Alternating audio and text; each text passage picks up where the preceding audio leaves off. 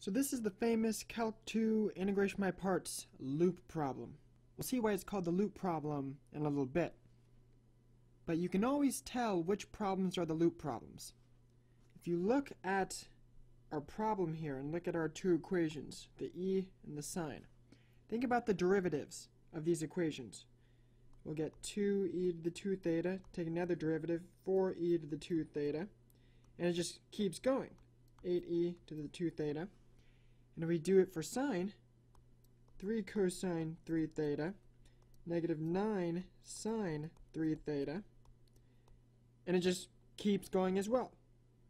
So when you see an integral problem in which you have two equations whose derivatives just keep repeating, it's highly likely that you're looking at the famous loop problem. So let's go through it. So in the case of this loop problem, it doesn't really matter which equation you choose as your u and your dv, because they kind of just repeat themselves. So I'm going to choose the sine as my u, and I'll choose the e as my dv. Okay, so I'll take the derivative of my u, the derivative of it is going to be 3 cosine 3 theta. Watch out for that chain rule. Of course, I'll multi multiply d theta on both sides to get the du by itself. And I'll do the antiderivative of the dv to get my v. Now will equal e to the 2 theta over 2. Alright, so let's use the integration by parts recipe here. And we'll end up with this. So usually we're hoping and praying that the second integral will be easier. That's really the whole approach when it comes to integration by parts.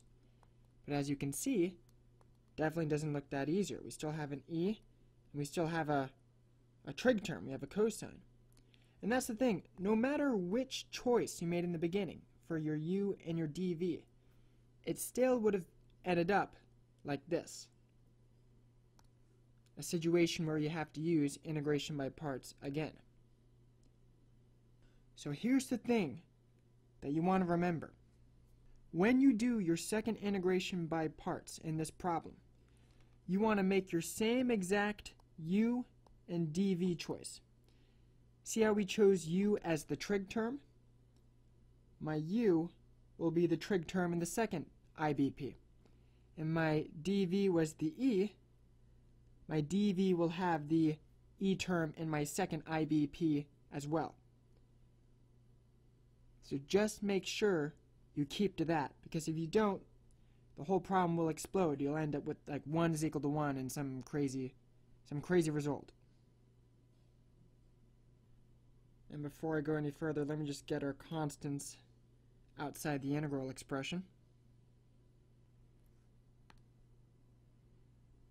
Alright, so here's my second integration by parts right here.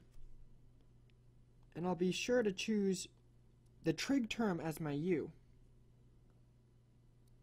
and the e term as my dv. So my derivative of my u will be negative 3 sine of 3 theta. Of course, I'll multiply both sides by d theta to get du by itself.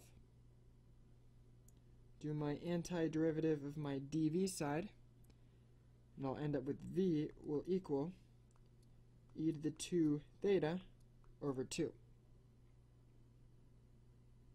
Alright, let's use our integration by parts recipe again.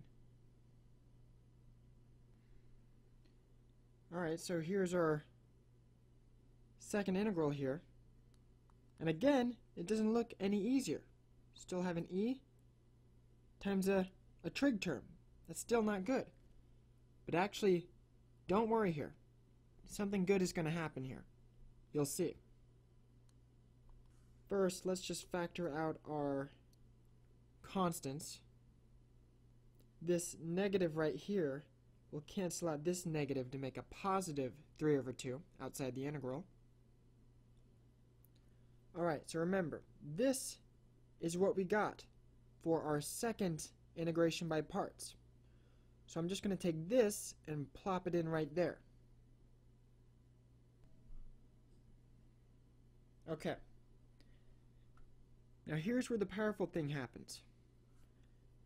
Remember, this is our question. We're trying to find out what this is equal to. And notice that we see the exact same thing right here. These two are the exact same mathematical thing.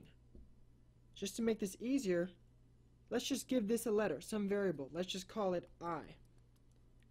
And let's just say now, we're really trying to find what i is equal to. And we really are. i is our question, and we're trying to find what i is equal to. So let's just call these two things i and solve for i now. Let's just get i by itself. So now I'm just going to work my algebra. I'm going to FOIL in this 3 over 2 into both of these quantities. Actually, yeah, negative 3 over 2. And now I'm just going to add 9 over 4i to both sides of my equation. And on that left-hand side, I have a 1i. So of course, when I multiply fractions, I got to get like denominators. So I'm going to make this 4i over 4. And altogether, this will be 13i over 4. And of course, this just goes away. And to get i by itself, I just have to now multiply both sides of the equation by 4 over 13.